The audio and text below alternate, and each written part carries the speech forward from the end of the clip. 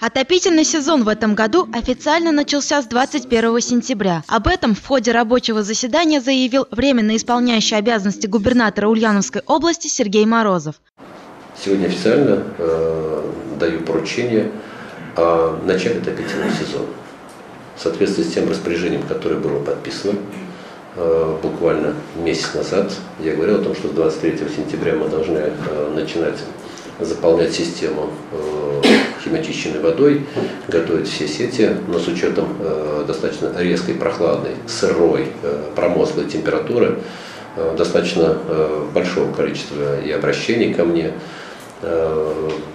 Вношу предложение, чтобы это было зафиксировано решением нашего совместного штаба по прохождению отопительного сезона с сегодняшнего дня приступить к подаче тепла в жилые дома и в остальные социальные учреждения.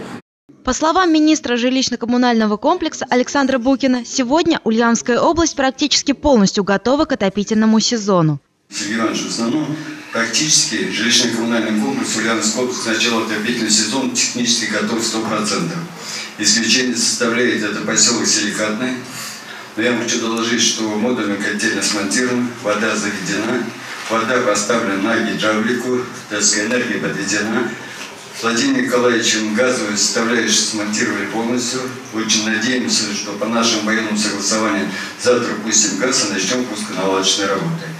Напомним, с этого года по распоряжению правительства Российской Федерации были внесены изменения в правила предоставления коммунальных услуг собственникам и пользователям в многоквартирных и жилых домах. Если раньше отопительный сезон запускался в течение пяти дней среднесуточной температуры воздуха ниже 8 градусов, то сегодня такие ограничения сняты, и тепло может запускаться на усмотрение местных властей.